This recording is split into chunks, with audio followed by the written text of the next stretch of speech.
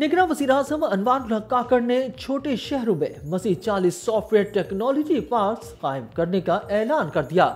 جمعرات کو convention centre میں ٹیک ڈیسٹینیشن پاکستان کی تقریب سے خطاب کرتے ہوئے نگراں وزیر اعظم انوار اللہ کاکڑ نے کہا کہ انفارمیشن ٹیکنالوجی آئی ٹی کے شعبے کا ملکی معاشی ترقی میں اہم کردار ہے۔ خصوصی سرمایہ کاری سہولت کونسل کے تحت آئی ٹی کو ملک کی ترجیحی شعبوں میں شامل کیا گیا ہے۔ ہم دنیا کے 190 ممالک کو آئی ٹی کی خدمات فراہم کر رہے ہیں۔ نگرہ وزیر اعظم نے کہا کہ پاکستان فری لانسنگ کے لیے تیسرا سب سے بڑا مقبول ملک بن چکا ہے۔ ملک کے چھوٹے شہروں میں مزید چالیس سافٹ ویئر ٹیکنالوجی پارکس قائم کیے جائیں گے۔ ملک کی ترقی میں آئی ٹی کا شعبہ کلیدی کردار ادا کرے گا۔ انوار اللہ کاکڑ کا کہنا تھا کہ آج کا دور جدید ٹیکنالوجی کی ترقی کا دور ہے۔ ٹیکنالوجی کے ہماری زندگی کے تمام پہلوؤں پر اثرات مرتب ہوتے ہیں۔ مصنوعی ذہانت سمیت ٹیکنالوجی کے جدید ذرائع اب ایک بنیادی ضرورت بن چکے ہیں، جن کی وجہ سے سماجی اور معاشی فوائد حاصل ہو رہے ہیں اور قوموں کی ترقی میں بھی ان کا بڑا اہم کردار ہے۔ وزیر اعظم نے کہا کہ ہم اپنے نوجوانوں کو با اختیار بنا رہے ہیں۔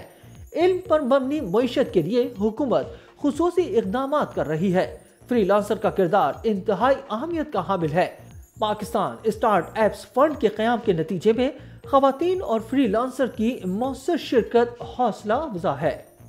Pakistan was also ranked as the third most popular country for freelancing given that Pakistan actually solicits and advocates enhanced cooperation and collaboration with in the local regional and global I T industry presenting Pakistan as the tech destination to the world will help further augment the significant role of the IT sector in the digital economy.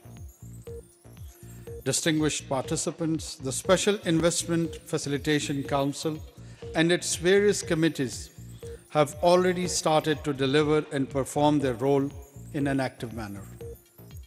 Among other priority sectors, the inclusion of IT sector under the umbrella of SIFC demonstrates the commitment of our government to further promoting the ICT industry.